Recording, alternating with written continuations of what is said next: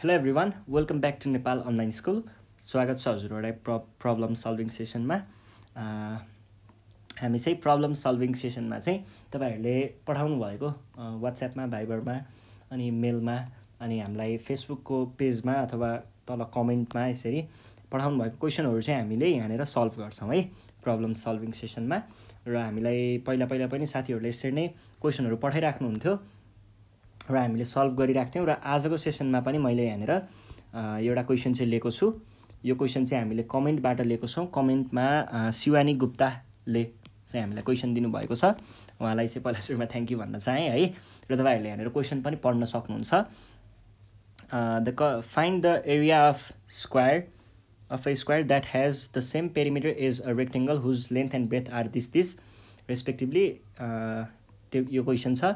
यो क्वेसन चाहिँ सायद पेरिमिटर एरिया एन्ड भोल्युम भनेको मेन्सुरेसनको पोर्सनको एउटा क्वेसन होला। मलाई जहाँसम्म लाग्छ है। अब यो सल्भ गर्न तपाईँहरूलाई त्यस्तो गाह्रो हुँदैन है। यो क्वेसनमा सानो एउटा चिज छ त्यो चिज चाहिँ फेरि क्वेसन आफैले नै भनिसकेको छ। हामीले त्यसलाई खच्याङ खुत्रुङ यताउता पार्ने मात्र हो केही पनि गाह्रो छैन है।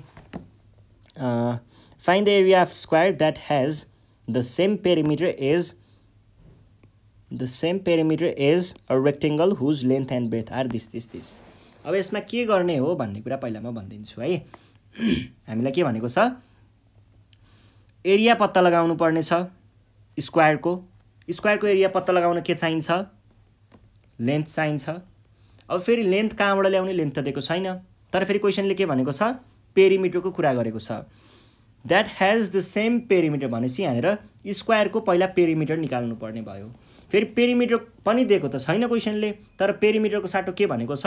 That has the same perimeter as a rectangle भने पछाडि अर्को एउटा रेक्टेङ्गलको पेरिमिटरसँग यो स्क्वायरको पेरिमिटर इक्वल हुने रहेछ। अनि फेरि त्यो अर्को स्क्वायरको पनि पेरिमिटर त दिएको छैन। सरी अर्को रेक्टेङ्गलको पनि पेरिमिटर त दिएको छैन। त्यसको पनि पेरिमिटर निकाल्नु पर्यो। अब त्यसको पेरिमिटर निकाल्न फेरि क्वेसन आफैले नै हामीलाई लेन्थ र ब्रेथ दिएको छ। अब हामीले के गर्छौँ भन्दाखेरि यो दुइटाको हेल्पबाट यो लिन्छौँ यो निकाल्छौँ। यो भनेको योसँग इक्वल हुन्छ। यसमा फर्मुला लगाउने हो भने यसको भ्यालु आउला। यसको भ्यालु आउने बित्तिकै एल स्क्वायर गर्दा यसको भ्यालु आउला। इजी होइन? सकियो। ए यो क्वेसन क्वेसन सकियो? सल्भ गरिसि सकिन्छ है। ल यहाँ सुरुमा के भनेको छ? Here length of rectangle equals to के दिएको छ? एटिन सेन्टिमिटर दिएको थियो सायद। अनि ब्रेथ कति दिएको छ?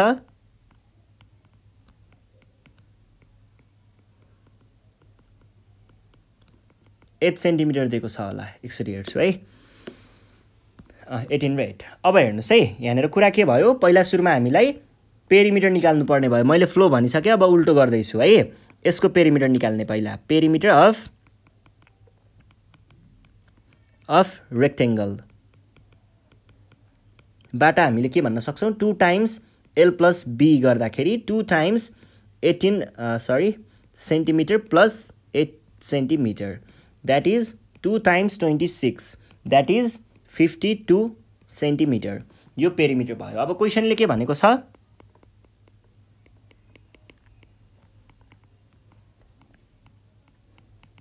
क्वेसनले भनेअनुसार चाहिँ पेरिमिटर अफ रेक्टेङ्गल र पेरिमिटर अफ स्क्वायर एउटै छ।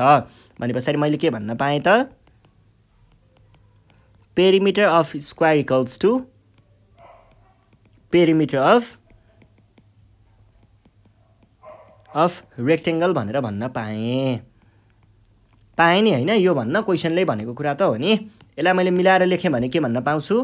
पेरिमिटर अफ स्क्वायरको फर्मुला के होला? यो भनेको फोर टाइम्स लेन्थ होला हो कि होइन? पेरिमिटर अफ स्क्वायरको फर्मुला त्यही हो नि फोर एल होइन त। फोर एल यहाँनिर यो स्क्वायरको हो भनेर देखाउनको लागि चाहिँ मैले एसक्यु भनेर लेखेँ है। अनि त्यस पछाडि पेरिमिटर अफ रेक्टेङ्गल त हामीले भर्खरै निकालेको छौँ फिफ्टी टू भनेर।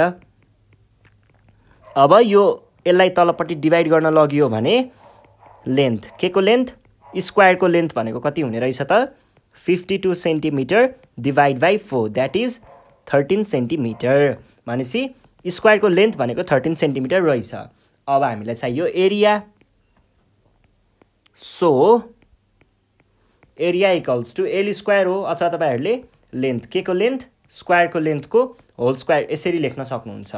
यो भनेको थर्टिन सेन्टिमिटर्सको स्क्वायर आयो भनेको one hundred sixty nine centimetre square आयो र यो नै हाम्रो एन्सर भयो। यति नै हो है सकियो। ल केही पनि गाह्रो थिएन एकदमै सजिलै सकियो र अब एउटाको मात्रै क्वेसन पठाउनु भएको रहेछ। ठिक छ त्यो क्वेसन पनि सल्भ भइ नै हाल्यो। र तपाईँहरूलाई म के सजेस्ट गर्छु भन्दाखेरि अब उहाँलाई अनि अरू अरूलाई पनि शिवानी गुप्ताजीलाई र अरूलाई पनि म अरू स्टुडेन्ट्सहरूलाई पनि के चाहिँ सजेस्ट गर्छु भन्दा तपाईँहरूले चाहिँ क्वेसन चाहिँ हामीलाई एकदमै धेरै क्वेसन सकेसम्म धेरै क्वेसन के धेरै क्वेसन सकेसम्म है। सकेसम्म धेरै क्वेसन चाहिँ तपाईँहरूले यहाँनिर वाट्सएपमा अथवा भाइबरमा यो नम्बरमा चाहिँ पठाउन सक्नुहुन्छ। इमोमा पनि सक्नुहुन्छ है? Nine eight four nine five nine five eight nine फाइभमा तपाईँहरूले क्वेसन फोटो खिचेर धेरै क्वेसन लेख्ने आफ्नो नाम लेख्ने तलपट्टि क्लास लेख्ने एड्रेस पनि लेख्दा भयो स्कुल पनि मन लागि लेख्दा भयो जे होइन? यस एउटा आइडेन्टिटी दिनु होला अनि क्वेसन पठाउनु होला अनि हामी चाहिँ त्यो क्वेसन सल्भ गरिदिनेछौँ एउटै भिडियोमा। तपाईँले दुई सयवटा क्वेसन पठायो पठाउनु भयो भने पनि चाहे त्यो दस घन्टा बिस घन्टा किन नलागोस् एउटै भिडियोमा म तपाईँहरूलाई सबै क्वेसनको सल्भ चाहिँ दिनेछु। यति भन्दै आजको सेसनबाट चाहिँ नेपाल अनलाइन स्कुल बिदा माग्न चाहन्छ र जाँदा जाँदै शिवानी गुप्ताजीलाई चाहिँ थ्याङ्क यू भन्न चाहेँ। Thank you by by